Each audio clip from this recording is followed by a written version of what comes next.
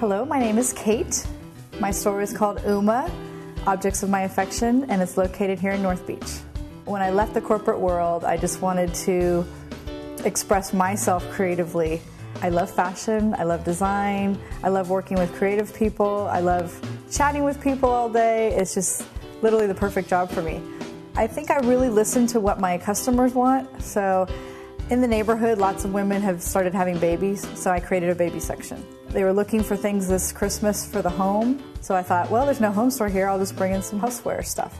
I love things that are expressive and bold and dramatic and sexy, things that really portray the best aspects of a woman. So I like people to feel really special in the clothes that they buy here. They're usually buying things to wear to occasions like weddings, parties, really hot dates, special interviews, things like that. So I'm not your everyday clothes unless every day to you is being special every day, which it should be.